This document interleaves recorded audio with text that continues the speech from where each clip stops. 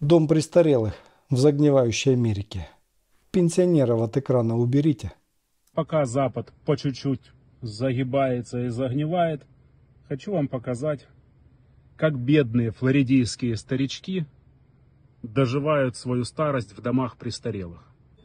При входе у нас имеется ресепшн, чтобы спросить, кого позвать. Лавочки и подъезды тут отсутствуют, поэтому, ну вот, сидим вот здесь. Также в доме престарелых присутствует функция автоматического открывания и закрывания дверей. Наличие пакетов для мокрого зонтика, если вдруг на улице дождь, вообще непонятно. Санта-Клаус в костюме охранника имеет функцию улыбнуться и поздороваться. Одно из неудобств данного дома престарелых то, что поле для гольфа находится не внутри.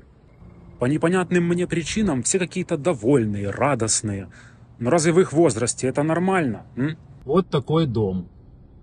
Как бы я даже не знаю, как это называть. Дом это или огромный замок.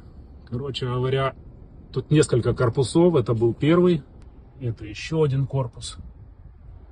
А это главный корпус. Вот так вот он выглядит. С такой территорией. Все. Газончики. Асфальтик.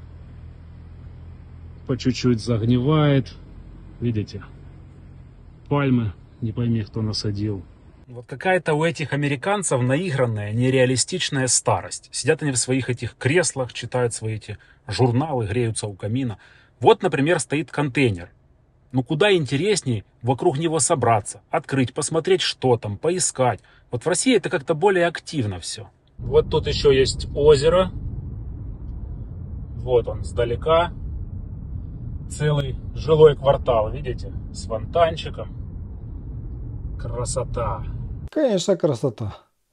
Они в свое время политикой интересовались.